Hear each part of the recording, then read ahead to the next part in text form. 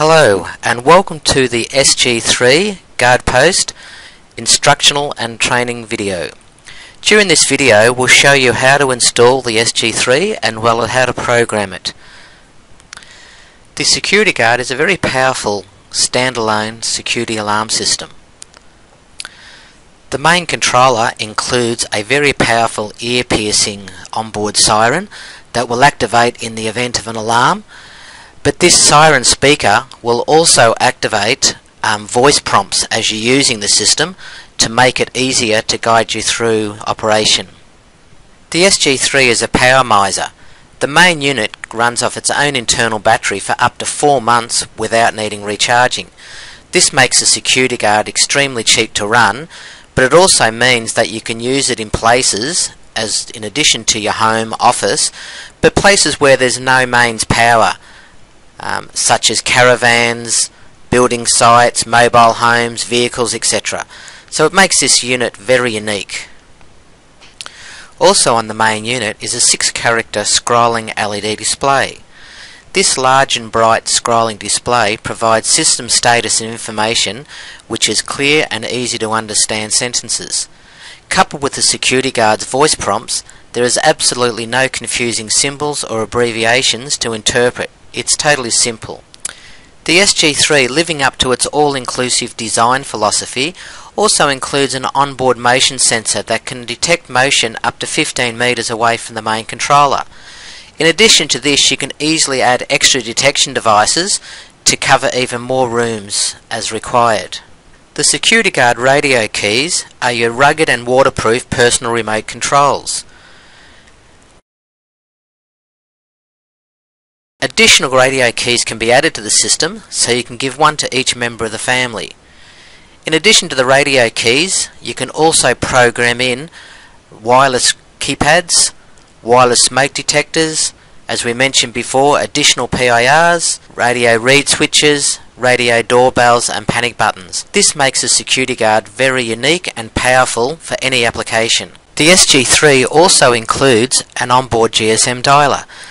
The GSM can also be used for logging back to a control room for 24 hour back to base monitoring or additionally can also be used for sending SMS text messages to personal mobile phones, voice messages to mobile phones.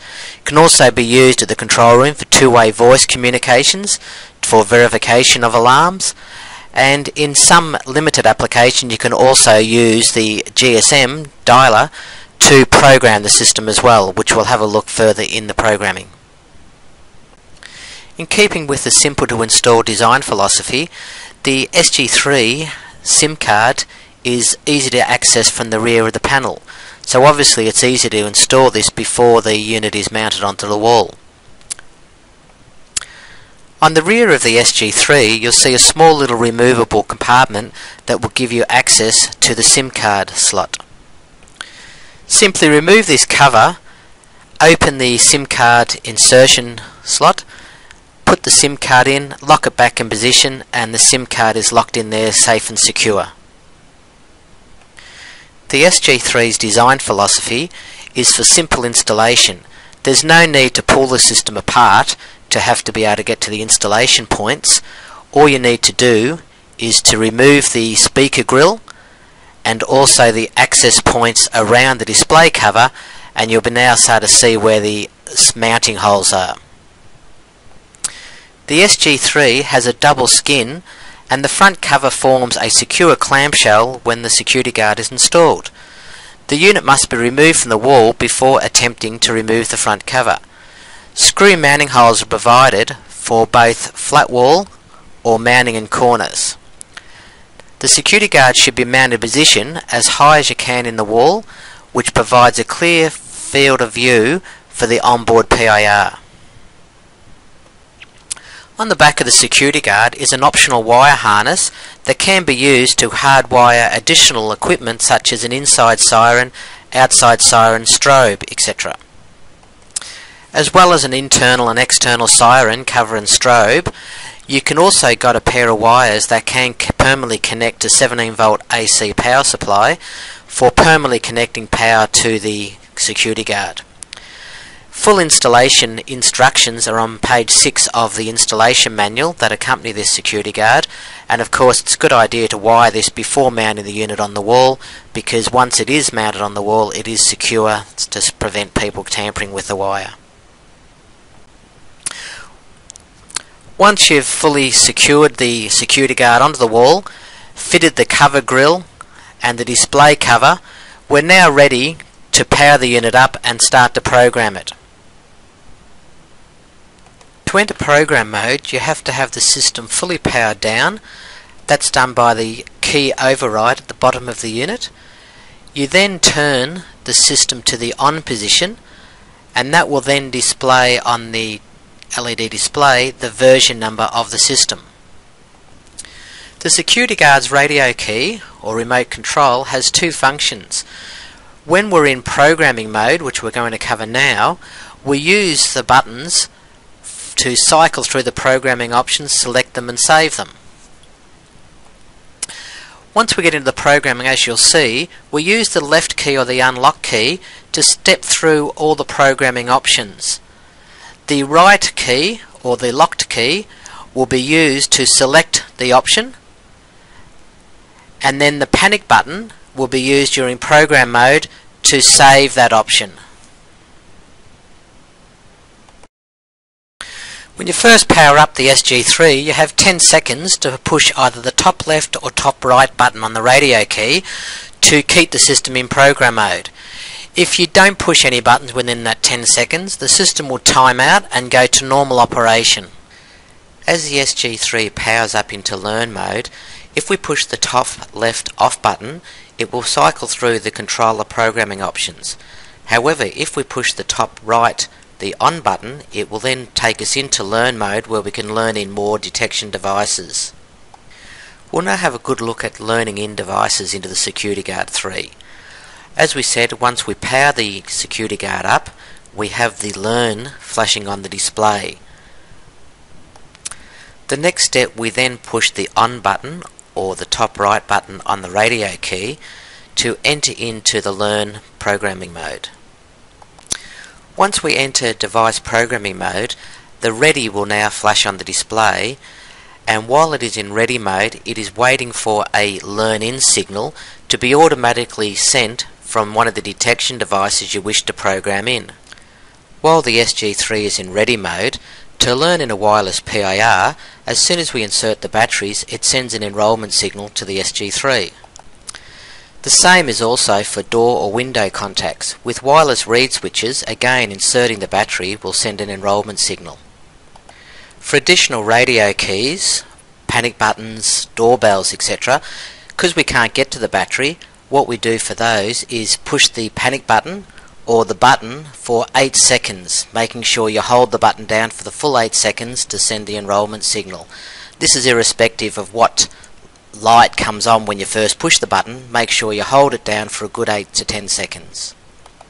As will a wireless smoke detector, again inserting the battery sends an enrolment signal.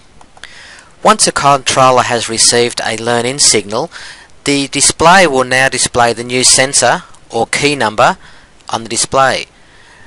New devices are added to the next available slot.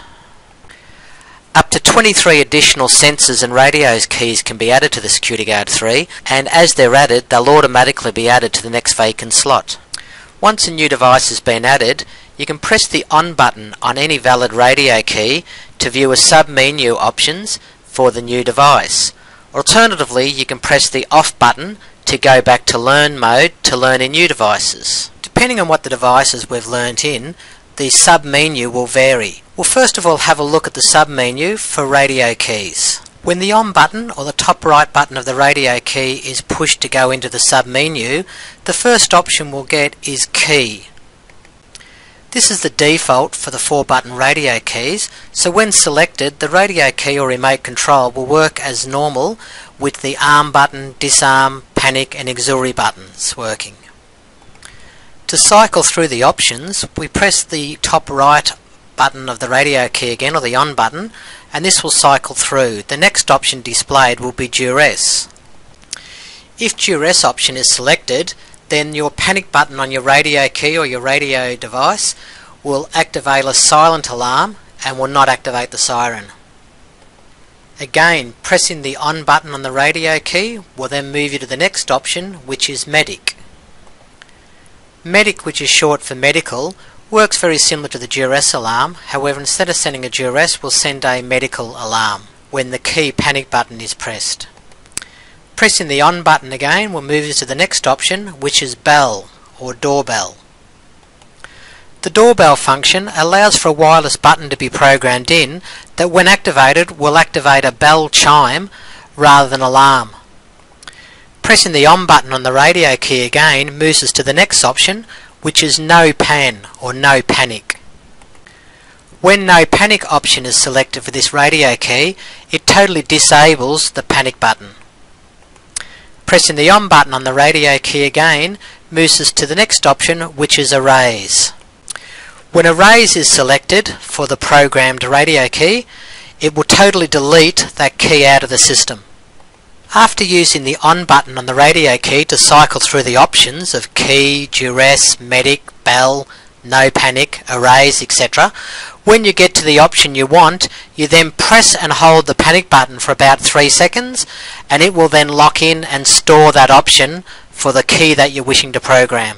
We'll now have a look at detection devices, whether it be a motion detector, door or window contact, of how they can operate within the system. Once we've learned a device in, we then can press the on button on the radio remote and that will take us into a sub-menu.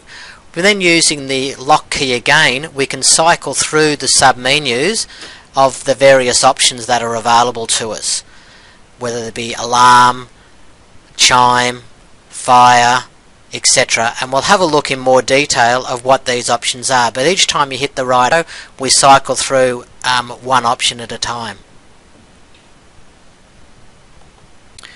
Once a detection device has been learnt in, and we push the right button on the radio key to go into the submenu, the first option we get to is alarm. If the detection device is programmed to be alarm, then the detection device is active when the system is armed and inactive when the system is disarmed. This is a default setting. Pressing the on button on a programmed radio key will then move us on to the next option, which is home, which means the detection device will be active when the system is both in the home mode as well as fully armed mode. Pressing the on button on the radio key again will next move us to the next option, which is Home 2. In Home 2 mode, the detection device will be active when the system is in Home mode or Home 2 mode, as well as fully armed mode. Pressing the on button on the radio key again takes us to the next option, which is Fire. If a detection device, typically a smoke detector, is programmed for fire, then it is active 24 hours a day regardless if the system is armed or disarmed, it will still be active. Again, pushing the on button on the radio key takes us to the next option which is chime. In chime mode, the detection device is active and it will give you a warning when the system is disarmed. However, the detection device will not be active in the armed home or home 2 modes. Pressing the on button on the radio key takes us to the next option which is a chime, standing for alarm chime. When in the alarm chime mode, the detection device will be active and can generate an alarm when the system is armed. However, when the system is disarmed and the detection device is activated, it will just activate a chime on the SG3. The next option after pushing the on button on the radio key is home chime or H chime. This is very similar to alarm chime, however, the chime will only occur when the SG3 is in home mode. When the system is fully armed, it can still generate an alarm. Pushing the on button on the radio key takes us to the next option, which is H2 chime. H2 chime is almost identical to H chime, however, it will activate a chime signal when the security guard is both in the home and home 2 modes. When the system is fully armed, it can still activate an alarm. The next option is silent. If a detection device is set for silent, it will activate the dialer, however, there'll be no local sirens activated. Pressing the on button on the radio key again takes us to the last option for programming in detection devices, which is exclude or erase. This option will vary depending if you're programming submenu options for the main PIR on the security guard or additional detectors. If you're programming the main detector, then what will happen, you'll get the exclude option, which means when you select it, it will disable the onboard PIR. However, if you're programming submenus for additional detectors into the SG3, you'll have the erase option, where this allows you to erase the detection device from the SG3. So once you've selected the option that you wish this detection device to work under, you press and hold the panic button to save it. So in recapping of how to learn in a new device into the SG3, when we first power the system up, it goes into program mode and we'll have the learn LED or learn display flashing. We want to select that option so we push the right top right button on the radio key to select it. We'll have the ready light flashing, ready waiting for a signal. We then send an activation or a learn in signal from the detection device we wish to program in. The display will then display the slot number or sensor or radio key number that's learned into. We can then press the top right hand key of the radio key again to select the sub menus and we can then select how we want that device we've just learned in to operate. As mentioned earlier, pushing the top left or the off key on the radio remote, it cycles you through the options as we go through the programming. For example, it will take you from key 1, push the off button, it goes to sensor 1, off again goes to the next option which is range, next option pulse each time we push it etc. If we wish to go back a step, we press the left button just under the LCD display and that will take us back a step. Once we get the option we want, we then push the right arrow will get us into the programming mode for that option selected. Once we've added additional radio keys, radio detection devices, if any, we then push the left button on the radio key, the off button, and that'll take us to the next security guard um, programming option, which is range. The range option selects um, between high and low of what detection range you want on the main PIR on the security guard. Low will then reduce the detection area to typically 8 meters, where high would lift the range to about 12 meters. While we're in the range setting, pushing the on button will cycle through the two options between high and low. Once you've selected the option you wish, you then press and hold the panic button and this will then save the setting. The programming sequence is identical as we go through the security guard. Hitting the on button will then cycle through the submenu options and the panic button will then save that option.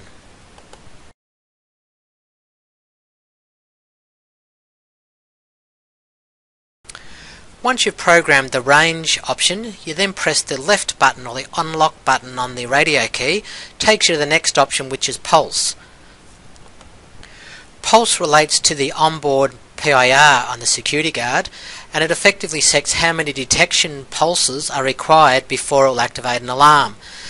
This range between 1, 2, 3 and 4 will then virtually makes that onboard PIR more or less sensitive to false alarms. Once you've got the option you want, you then push the panic button to save this option. Pushing the off button on the radio key will then take us to the next option, which is signal or radio signal strength. Pressing the on button on the radio key will take us into the signal strength option. In here we can check the signal strength of your radio keys and radio devices or radio detection devices. Once selected this option, the SG3 will then listen and wait for a radio signal to be received. Once it receives a signal, it will display the name of the radio device that sent the signal, example key 1, key 2, etc., sensor 2, sensor 3, and once it receives that signal, it'll also display the strength between 1 for weak and 9 for strong. Pressing the on button on the radio key will get into the signal strength check, and to test a radio key, you press the panic button to send a signal strength check to the security guard. For checking the signal strength for a PIR, a radio reed switch, etc., while you're in the signal strength mode, simply activate the detector and the security guard will display the signal strength it's received. This is a great tool to see how good your signal is that's being received back at the security guard from the detection device. Pressing the off button on the radio key will take us to the next option which is radio jam or radio jamming alarm. When the radio jamming alarm feature is enabled in the security guard, it will generate a chime in the disarmed, home or home 2 modes if it receives continuous source of radio interference. If the SG3 is armed, the system will go into full alarm. Pressing the on button on the radio key will cycle through the sub options, which is off, which means it's disabled, on means it's enabled, you'll get the chimes and alarm, or silent, which means it will still be active, but it will only report through to the control room. If you wish to change this setting, select the option you wish, push and hold the panic button, and this will then save your setting. Pushing the off button on the radio key will then cycle through to the next option, which is radio message substitution alarm. If radio sub is enabled, the SG3 will generate a chime alarm in the disarmed home or home 2 modes and a full alarm when the panel is armed if it senses an intentional radio message substitution being received that has not been sent from an SG3 detection device or a radio key. Pushing the on button on the radio key will cycle through the submenus which is off as default or on enable this alarm once you've selected the option you want, push and hold the panic button, which will then save this setting. Pushing the off button on the radio key moves us to the next option, which is radio supervision interval. All Ness wireless detectors, whether it be PIR, smoke detector, radio reed switch, etc., will send a supervision signal every hour if enabled. Setting this option in the SG3 sets up at what interval should the SG3 be looking for this supervision signal being sent if it has been enabled in the detection device. If it doesn't receive a supervision signal before this time expires, it can then generate an alarm. Although this feature is often only used for higher security applications, it's always recommended to have at least 4 or 8 hours enabled and not often is it set for one hour. Pressing the on button on the radio key will then take us into this option and then each subsequent press of the on button will cycle through the options between 1 hour, 4 hours, 8 hours, 16 hours or 24 hours or back to default which is off. Once you select the option that you wish, if you wish enable it all, press and hold the panic button to save your setting. Pressing the off button on the radio key takes us to the next option which is lockout or alarm lockout. Alarm lockout prevents the sirens from sounding due to multiple activations from the same detection device. Should be noted that the external siren will only sound once on an activation of alarm until the system is disarmed and then armed again. This is to comply with a lot of the council's or government's regulations for noise on external sirens.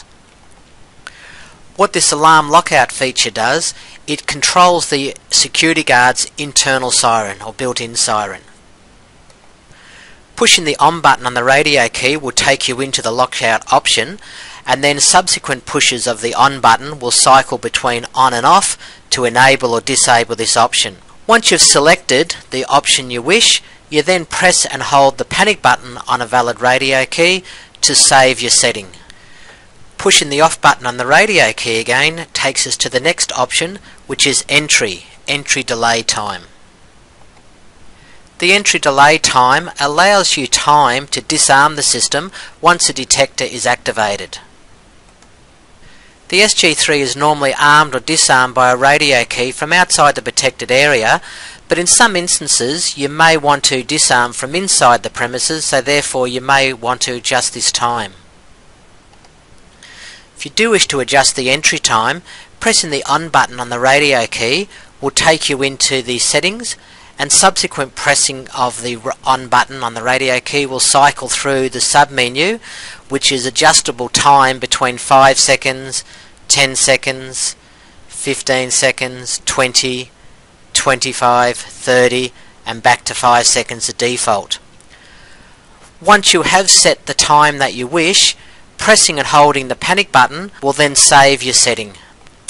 Pushing the off button on the radio key will take us to the next option which is exit delay time. The exit delay time is very similar to the entry but in this instance when we arm the system with the radio key it's the time that we've got to exit the premises before all the detection devices will become active. If you wish to adjust the exit delay time, you push the on button on the radio key and that will bring into the submenu for exit time and each subsequent press of the on key will then cycle through the time which is adjustable between 5 to 60 seconds in 5 second increments and once you set the option that you wish you can then press the panic button to store your required time. Pressing the off button on the radio key again moves us to the next option which is siren and siren run time.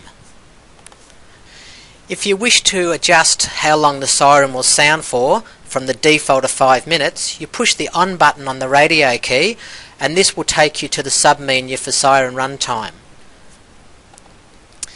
Each time you then push the on button on the radio key, it will cycle through the sub-menu and you can then bring up between 1 to 5 minutes of how long you want the siren to sound for.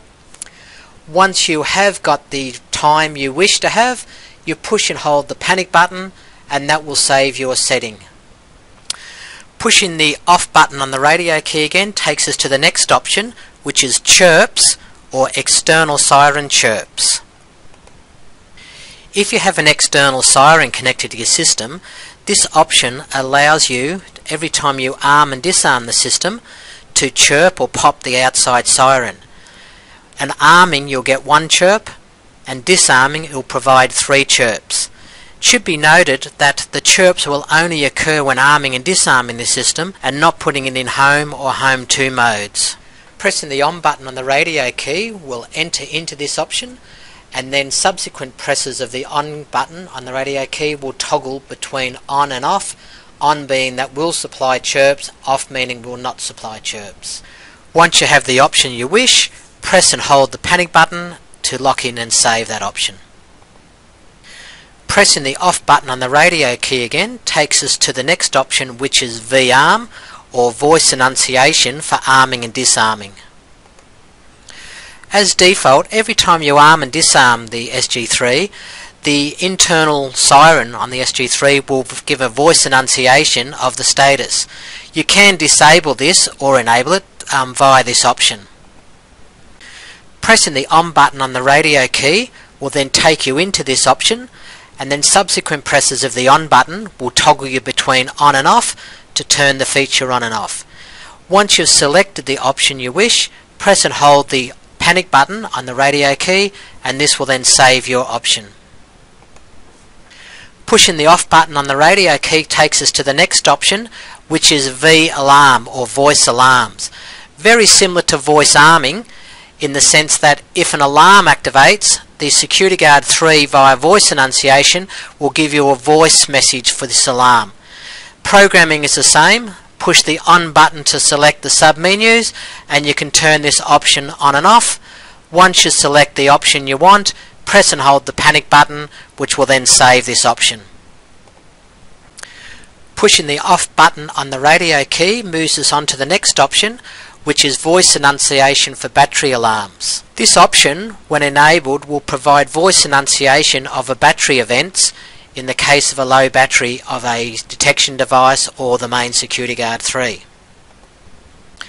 Pushing the on button on the radio key takes us into the submenu where you can then subsequent presses of the on button cycles through between enable or disable or on and off and once you've selected the option you wish you press and hold the panic button to save that option. Pushing the off button of the radio key moves us on to the next option which is voice enunciation of system faults. Pressing the on button of the radio key takes us into this option where again subsequent pushes of the on button cycles between the submenus of on or off and you can enable or disable voice enunciation for faults. Once you select the option you wish, press and hold the panic button again, which then saves your setting. Pushing the off button on the radio transmit again takes us to the next option, which is open or open closing reports. Open closing reports are typically used if you have the dialer activated, whether you're going back to base or reporting via SMS monitoring, etc um, to report every time the alarm system is turned on and off. Open refers to when the security system is disarmed or you're opening the building to be free for people to move in and closing is for when you close the premises or arm the system and that's what we relate to as closing is when the security system is armed. So therefore, if you enable opening or closing or arm and disarm reports, then every time you arm or disarm the security system, it will notify you. Um, so you've got advice of when the system has been opened and closed or armed or disarmed. If you wish to set the open and close reports, you then push the on button on the radio key to enter into these options. When off is selected, then all opening and closing reports are disabled. If we then push the on button, which then on will come on, and when on or enabled, opening and closing reports um, will be sent at the end of the exit delay. Once you've selected the option you wish, push and hold the panic button to save your settings. Pushing the off button on the radio key takes us to the next option which is low battery reporting. Again, if the dialer is enabled, we can get the system to report via the dialer back to base monitoring or via SMS, etc., um, of when a device has a low battery. If you wish to program a low battery port via the dialer, push the on button on the radio key, which takes us into this menu, and then subsequent presses of the on buttons will cycle through the options. The first option is none, where no reports will be sent. Pressing the on button takes us to main, so that will report low batteries if the main Security Guard 3 battery goes low. Pushing the on button on the radio key takes us to the next submenu option, which is sensor. If sensor is selected, then the SG3 will report low batteries, including panic buttons, from any detection device. Pushing the on button on the radio key again takes us to the next submenu which is all. If all is selected then low battery reports will report via the dialer on both the main security guard 3 low battery as well as any detection device that's connected into the SG3. Once you've selected the option you wish, push and hold the panic button to save your settings. Pushing the off button on the radio key takes us to the next main menu option, which is Client, where allows you to set a client account number. A client account number is an individual number assigned to you from the control room so when the panel reports back to the back to base monitoring it knows what panel it came from. This number must be obtained from the control room before you program it. To program in a client account number, we push the on button on the radio key that takes us into the menu options to allow you to program. Once you enter the client account number option, the first digit of the number will be flashing. Each time you push the on button of the radio key, it will move on to the next digit until you get to the number you wish. Then you press and hold the panic button to store that number and then moves to the next number. Same sequence, on button moves you through to the next number you wish hit the panic button to store it until you've programmed the whole four digits of the client account number. Pushing the off button on the radio key takes us to the next option which is phone number 1.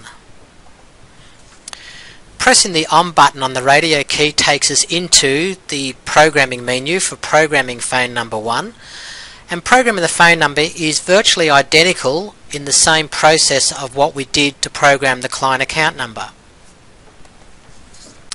When we enter this programming option, the first digit of the phone number will be flashing. By pressing the on button on the radio key and subsequent presses of the on button, it takes us through and will increment the number for the first digit you wish to have. Once you get to the number that you wish, you then hold, press and hold the panic button, which then stores the first digit.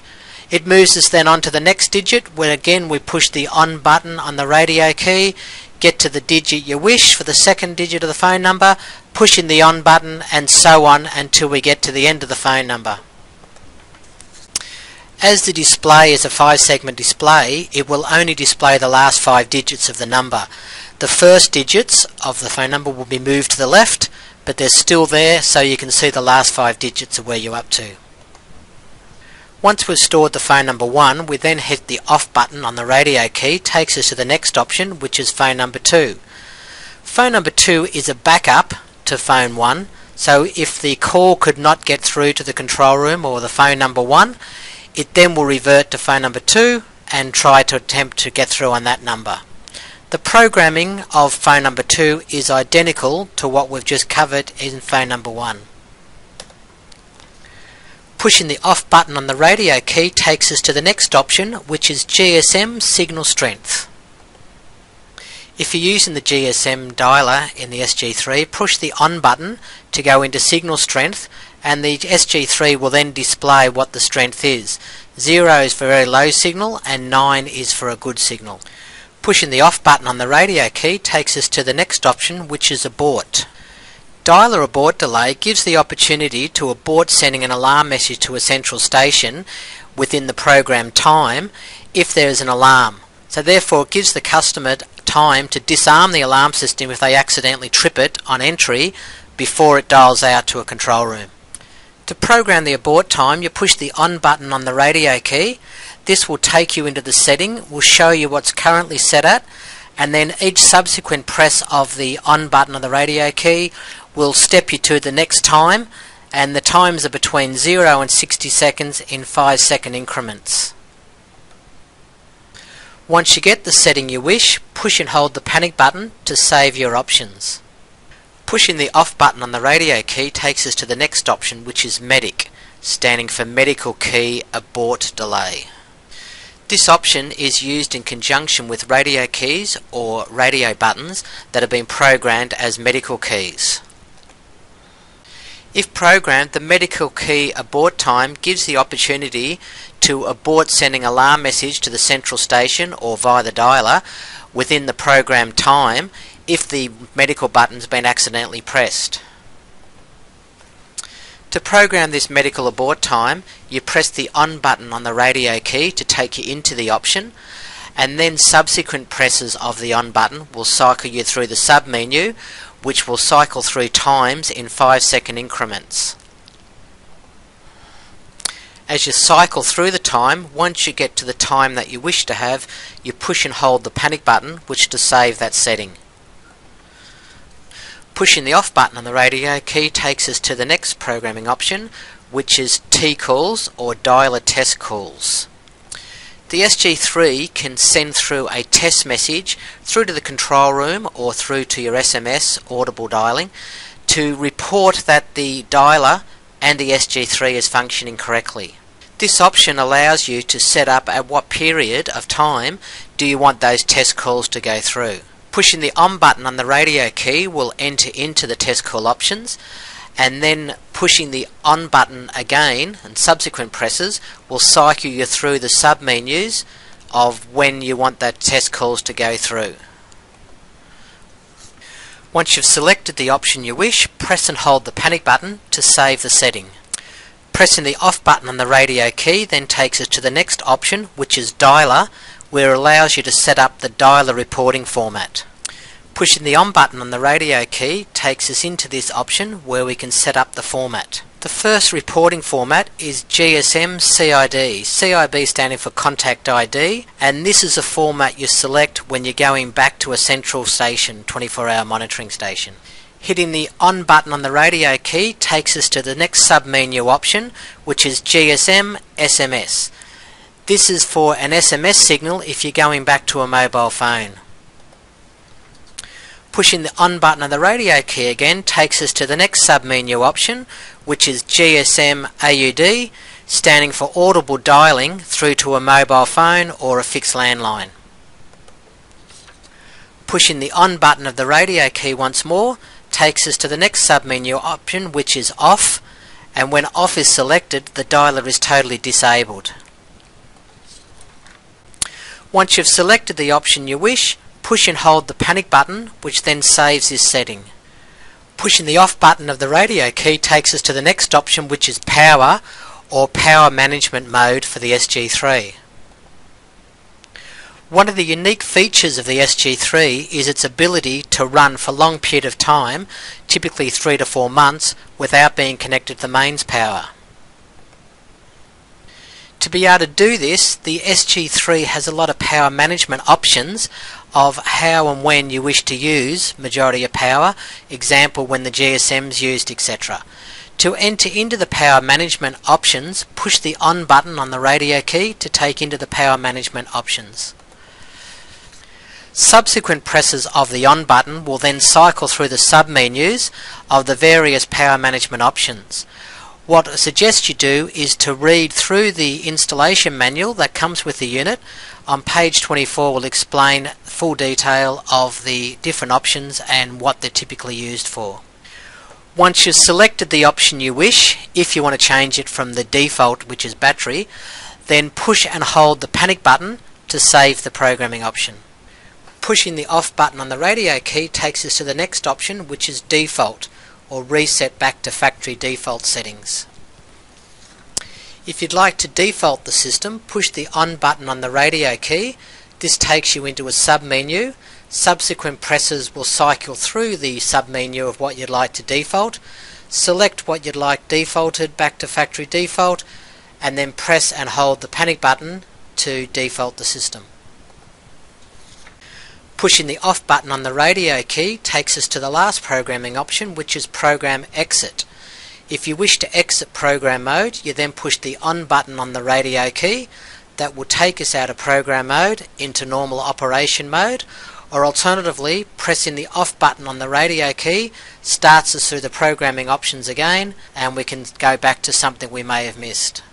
Thank you for viewing this video which I hope assisted you but please read this video in conjunction with the programming and installation manual that accompanies this unit.